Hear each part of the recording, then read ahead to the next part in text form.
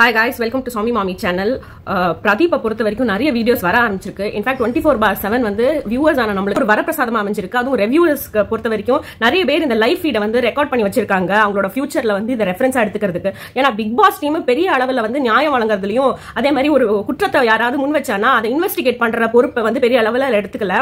என்னை பொறுத்த வரைக்கும் பிரதீப் விஷயத்துல பெரிய அளவில் ஒரு ஃபெயிலியர் நடந்திருக்கு. பிக் பாஸ் டீமை பொறுத்த வரைக்கும் பத்து கேள்விகளுக்கு பதில் இன்னும் கிடைக்கவே இல்லை. எந்த அளவுக்கு நான் தேடி தேடி தேடி தேடி அந்த வீக்கெண்ட் எபிசோட் கமல் சாரோட எபிசோட்ல பார்த்தாலும் எனக்கு அந்த ஜஸ்டிஸ்க்குள்ள ஒரு ஜஸ்டிபிகேஷன் பிக் பாஸ் சார்பாக பிக் பாஸ் சார்பாக யாருங்க பேசுவாங்க? கமல் சார் தான் பேசுவாரு. கமல் சார் வந்து மக்களின் பிரதிநிதி. அவர் காலையில இருந்து நைட் வரைக்கும் உட்காந்து நம்மள மாதிரி டுவெண்ட்டி ஃபோர் பார் செவன் ஃபீடோ இல்லாட்டி டெய்லி ஒன் ஹவர் எபிசோட பாக்குறது இல்ல. சாட்டர்டே ஒரு நாள் வருவாரு அன்னைக்கு அவர்கிட்ட இன்ஃபர்மேஷன் கொடுக்கப்படுறத வச்சு தான் அவர் வந்து ஷோ ஹோஸ்ட் பண்ணுவாரு. இன்ஃபர்மேஷனை வச்சு தான் அவர் ரியாக்ட் பண்ணுவாரு கொஸ்டின் கேட்பாரு.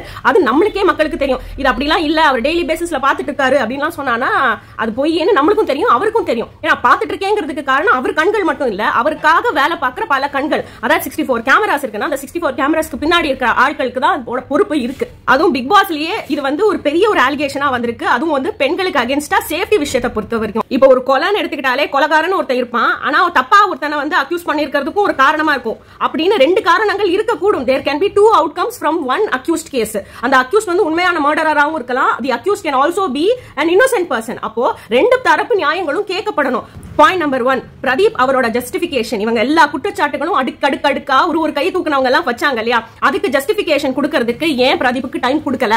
Amal Haasan sir comes from lawyer family lawyer family பேக்ரவுண்ட்ல இருந்து தானே வராரு. குற்றவாளி கூண்டுக்கும் இந்த பிக் பாஸ் ஹவுஸ்ல இருக்கிற வீக்கெண்டுக்கும் என்ன பெரிய வித்தியாசம்? அக்வசிஷன் வச்சானா ஒருத்தருக்கு நியாயம் சொல்றதுக்கு டைம் கொடுக்கணும். கேமராக்கு முன்னாடியே ஒரு பொண்ணு அசிங்கமா கேவலமா ட்ரீட் பண்ணிருக்கான் பிசிக்கலா ஹேண்டில் பண்ணிருக்கான்னா எந்த அளவுக்கும் வந்து அந்த ஆள் ஜஸ்டிபிகேஷன் கொடுக்க தேவையில்ல. ஆனா இந்த விஷயம் பொறுத்த வரைக்கும் டுவெண்ட்டி ஃபோர் பார் செவன் மக்கள் பாக்குறாங்க மக்கள் கேட்டுட்டு இருக்காங்க அந்த நிலைமையில இருக்கும் போது பெரிய லெவல்ல எதுவும் நடக்காம இவங்க மட்டும் ஒரு ஜஸ்டிபிகேஷன் எடுத்துட்டு வந்துட்டு இவன் கெட்டதா பண்ணிட்டான் விமனுக்கு விமன் சேஃப்டிக்கு பங்கம் வச்சுட்டான்னு சொல்லிட்டு இந்த விஷயத்தை ஃப்ரண்ட்ல கொண்டு வைக்கிறாங்க. அப்பனா அந்த ஆளுக்கு வந்து ஒரு ஜஸ்டிபிகேஷன் கொடுக்கறதுக்கு ஒரு வழி வேண்டாமா? மக்களாகிய நம்மளுக்கே நம்மளுக்காக தானே அந்த ஷோவே நடத்துறாங்க மக்களுக்காக. அப்ப மக்களுக்கு தெரிய வேண்டாமா? இவன் சைட்ல என்ன நியாயம் இருக்குன்ட்டு? பாத்துக்கிட்டே இருக்கும் டுவெண்ட்டி ஃபோர் பார் செவன் அப்படி எதுவும் நடக்கவே இல்லை. யாரையும் போய் அவர் வந்து பலவந்தமா வந்து ஒரு லேடியை வந்து பிசிக்கலா ஹேண்டில் பண்ணவே இல்ல. அப்ப என்ன பண்ணிருக்கணும் அவங்க? அவர் பேச விட்டுருக்கணும் தானே? அப்ப நம்ம என்ன பயிற்சிக்காரங்களா உட்காந்து ஷோ பாக்குறவங்க நம்பர் டூ தேர்ஸ்டே அன்னைக்கு இந்த புள்ளி கேங்னு சொல்ற இவங்க எல்லாருமே ஸ்டார்ட் பண்ணதோ என்னமோ வந்து கூல் சுரேஷ் கிட்டே இவர் கிட்ட வார்த்தை பேசினது கமல் சார் வந்தா கூட நான் வெளியில வந்து நான் நான் சாரி கேட்க மாட்டேன்னு சொன்னாரு. ஆமா இதை வச்சுதான் ஆரம்பிக்கவே செஞ்சாங்க. அதுக்குள்ள இவங்க எல்லாம் பிளான் பண்ண ஆரம்பிச்சிட்டாங்க. இந்த கெட்ட வார்த்தை சொல்றதை வச்சானா இவனை இவரை வெளியில அனுப்ப முடியாது. இவருக்கு வந்து விஷ்ணுவே சொல்லியிருப்பாரு உனக்கு எல்லோ கார்டுலாம் இல்ல. உனக்கு வெளியில அனுப்புறதுக்கு தான் நான் பிளான் பண்ணிட்டு இருக்கேன். ஜெயிலுக்குள்ள எல்லாம் உன் அனுப்புறதா இல்லைன்னு சொல்லிட்டு அக்ஷயா அனுப்பும் போதே இந்த விஷயத்தை வந்து டிஸ்கஸ் பண்ணிருப்பாங்க அப்ப உள் மனசுல இவங்களுக்கு என்ன இருந்ததுன்னு சொல்லிட்டு எல்லாருக்குமே வெளிப்படையா தெரியும். பிக் பாஸ் வந்து கண்காணிச்சிட்டு இருக்கிற ஆட்களுக்கு எல்லாம் தெரியாதா? அப்ப ஏன் இது பிளான் பண்ணி செஞ்சீங்களான்னு கேட்டானா பிளான்லாம் பண்ணல சார் அப்படியே எதிர்ச்சியா சொல்ல வந்ததை சொன்ன this is a fabricated evidence ஃபேப்ரிகேட்டட்னா என்ன?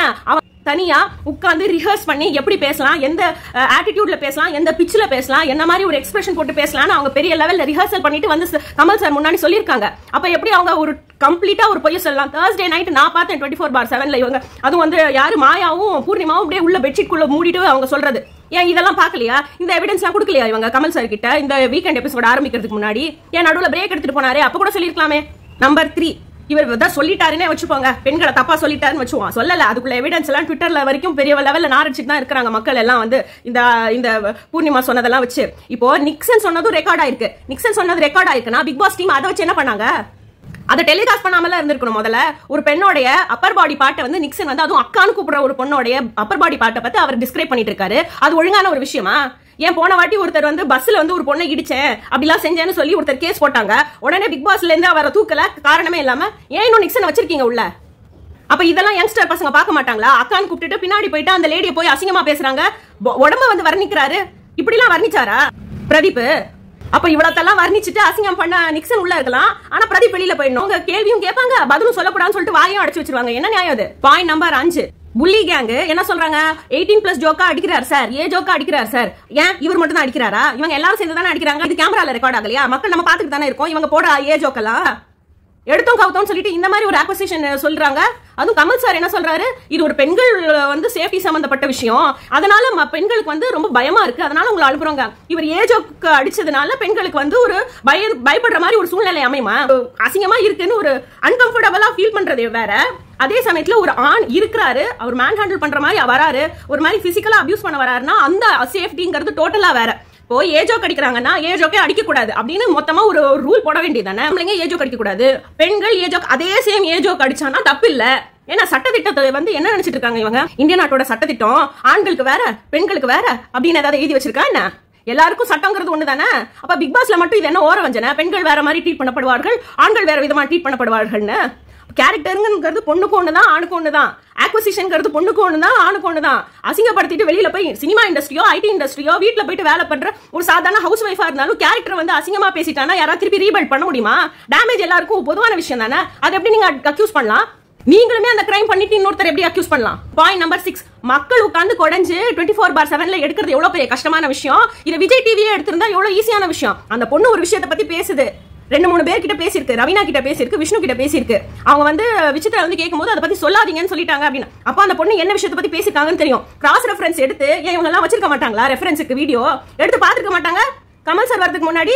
அப்ப தெரிஞ்சிருக்காதா? இந்த மாதிரி விஷயம் நடந்திருக்குன்னு சொல்லிட்டு மக்கள் வந்து இதை வெளியில எடுத்துட்டு வர மாட்டாங்க இந்த மாதிரி ஒரு விஷயம் ரெக்கார்டா இருக்காது அப்படின்னு சொல்லிட்டு நினைக்கிறது எவ்வளவு பெரிய ஒரு முட்டாள்தனம். இந்த பொண்ணு கிளீனா மிஸ்லீட் ஆகிக்கப்பட்டிருக்கு. ரவீனா வந்து சொல்லுது தப்பா ஒரு விஷயத்த ரவீனா அப்படியே வந்து சொல்லியிருக்கு.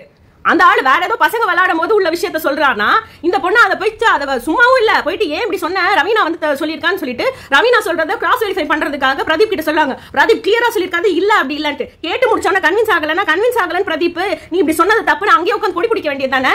அப்ப கன்வின்ஸ் ஆயிடுச்சு உங்களுக்கு உங்களை சொல்லல. அவர் இப்படிதான் சொன்னாருன்னு சொல்லிட்டு.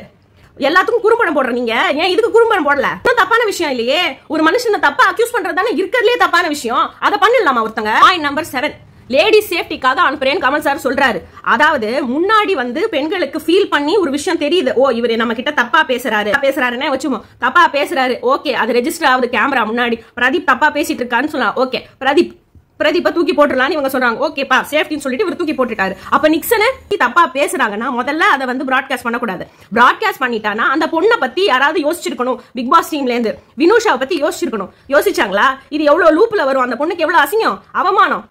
ஒரு ஒரு தடவை இந்த பேட் கமெண்ட் பத்தி பேசும்போது அந்த பொண்ணை வந்து கெட்ட மனசுல இருக்கிறவங்க கெட்ட எண்ணத்துல தானே அந்த இடத்துல பாப்பாங்க இதெல்லாம் கான்சிக்வன்சஸ் யோசிச்சு பார்க்கலையா பிக் பாஸ் டீம் அப்ப ஒரு பொண்ணுக்கு முன்னாடி அவளை பத்தி அசிங்கப்படுத்தினாதான் அது அசிங்கம். அந்த பொண்ணுக்கு பின்னாடி போயிட்டு பேசுறதெல்லாம் அசிங்கம் கிடையாது. ஆனா நீங்க மட்டும் வார வாரம் சொல்லி இருக்கீங்க அறுபத்தி நாலு கேமரா இருக்கு நாங்க பாத்துக்கிட்டு தான் இருக்கோம். பாத்துக்கிட்டு தாங்க இருக்கீங்க வேற எதுவும் செய்யலையே?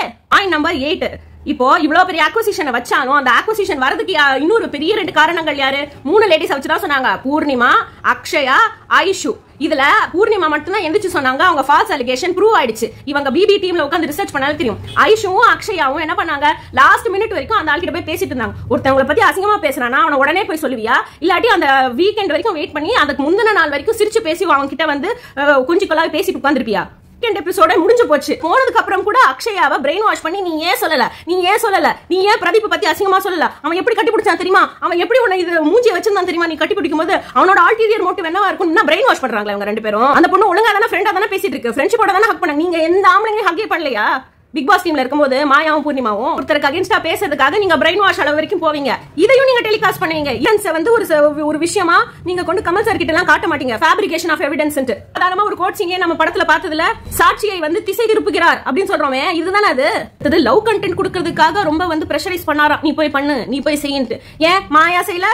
மாயா வந்து விக்- விஜய் ஃபர்ஸ்ட் எலிமினேட் ஆகி போனாரு. எனக்கு அவர்கிட்ட ஒரு இது இருக்கு. நான் அவரோட வந்து லவ் கண்டென்ட் கொடுக்க போறேன். லவ் கண்டென்ட் ரிலேட்டடா பேசவே இல்லையா? பேசல?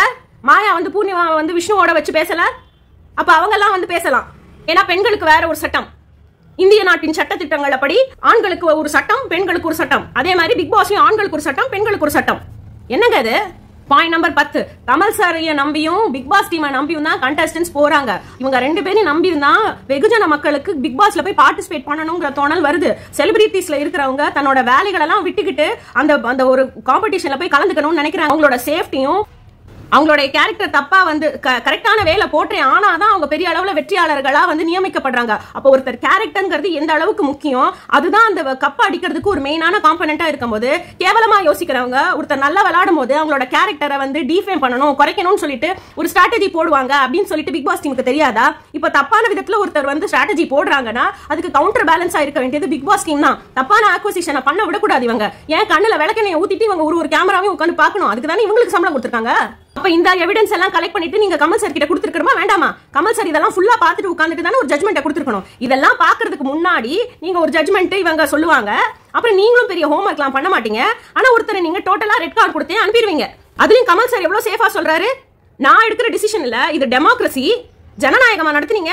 அவருக்கு ரெட் கார்டு கொடுக்கலாமா வேண்டாமா கேட்டாரே தவிர விமன் சேஃப்டின்னு சொல்லிட்டு வெளியில அனுப்பணும்னு சொல்றீங்க. விமன் சேஃப்டிக்கு பங்க விளைவிச்சாரா? அந்த ரிலேட்டடா இவருக்கு ரெட் கார்டு கொடுக்கலாமான்னு ஒருத்தரா நீங்க கேட்டீங்களா? விஷ்ணு கிட்ட இந்த விஷயம் கேட்கவே இல்ல. விஷ்ணு கரெக்டா சொல்றாரு. இல்லைங்க இவர் வந்து சாரி கேட்டா கெட்ட வார்த்தை பேசுறாரு. இவர் சாரி கேட்டா அவர் வந்து கேட்க மாட்டேன் அப்படின்னு சொல்றாரு. அந்த விஷயத்துக்காக கொடுக்குறோம் அப்படின்னு சொன்னா கூட ஒரு ஒரு மீனிங் இருக்கு. கமல் சார் கிட்டே சாரி கேட்க விருப்பப்பட மாட்டேங்கிறாருன்னு சொல்லி அந்த ரெட் கார்டு கொடுத்திருந்தா கூட அக்செப்டபிள் தான். ஆனா மித்த லேடிஸ் எல்லாம் வந்து அவருக்கு ரெட் கார்டு கொடுக்கலாமா? ஆ கொடுக்கலாம். எதுக்குன்னு கொடுக்கலாம் அப்படின்னு சொல்லவே இல்ல. கடைசியில அந்த ஆள் போகும்போது தான் சொல்றாரு கமல் சார் விமன் சேஃப்டிக்காக உங்களுக்கு கொடுக்குறோன்ட்டு. எவ்வளவு பெரிய அக்வசிஷன் இது? மேடை பேச்சுக்காக மட்டும் மனுநீதி சோழன் வந்து ஒரு பசுக்கன்றுக்கு வந்து செத்ததுக்கு ஒரு பசுக்கு நீதி வழங்கினா தேர் கொடுத்தான் பாரி அப்படின்னு சொல்லிட்டு பேசினா மட்டும் போதாதுங்க. அதுக்கு ஜஸ்டிபிகேஷன் பண்ற மாதிரி நடந்துக்கணும். He can be misled Kamal sir வந்து is ultimate person he is just voice which is going to speak in favour of Bigg Boss team Bigg Boss team சொல்றத தான் அவர் வந்து டெலிவர் பண்ண போறாரு ஸ்பீச்சா அதை அக்செப்ட் பண்ண ஃபேக்ட் தான் அதுதான் உண்மை. எல்லாரும் ஏன் பாக்குறோம் கமல் சாருக்குன்னு ஒரு நியாயம் இருக்கு நீதி இருக்கு ஒரு பிரின்சிபல்டு மேன் அவர். அப்போ எடுத்தோம் கவுத்தோம் ஒரு டிசிஷன் எடுக்க மாட்டாருன்னு சொல்லிட்டு ஒரு ஒரு ஹோப்ல தானே நம்ம பாத்துட்டு இருக்கோம். அந்த ஹோப்பை எப்படி அவர் உடைக்கலாம்? அவர் மேல நம்ம வச்சிருக்க ஹோப்பை வந்து உடைச்சது வந்து பிக் பாஸ் டீம் லாஜிக்கா பார்த்தா Kamal sir Bigg Boss team மேல தான் கோவப்படணும். அவர் கோவப்பட்டாரா கோவப்படலையாங்கிறது நம்மளுக்கு தெரியல. ஆனா போனமான யாரு பிரதீப் தானே? விமன் கார்டுன்னு நீங்க சொன்னீங்கன்னா பெண்கள் எப்படி முன் வருவாங்க? அப்படி ரெஜிஸ்டர் பண்ணுவாங்க போலீஸ் ஸ்டேஷன்ல எல்லாம் அப்படின்னு சொல்றாங்க. இப்போ பெண்கள் கிரெடிபிளா இல்லாம இந்த மாதிரி ஃபால்ஸ் அக்வசேஷன் வச்சா எவ்வளவு பேர் பெண்களை நம்புவாங்க? அது எவ்வளவு பெரிய ராங் மெசேஜ் போகுது இந்த பப்ளிக்கு இவங்கெல்லாம் அவமானப்படுத்தினது பிரதீப் மட்டும் இல்லைங்க.